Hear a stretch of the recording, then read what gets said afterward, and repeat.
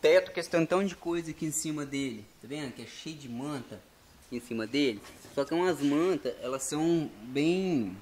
Assim, elas são macias. A, a maioria dos amassados, elas não te incomodam de você fazer, não. Mas se ela incomodar, o que, que você faz? Você vai começar a tirar ela, elas são de cola.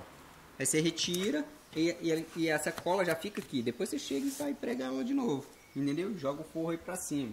Se precisar, você passa cola. Só que tem um porém.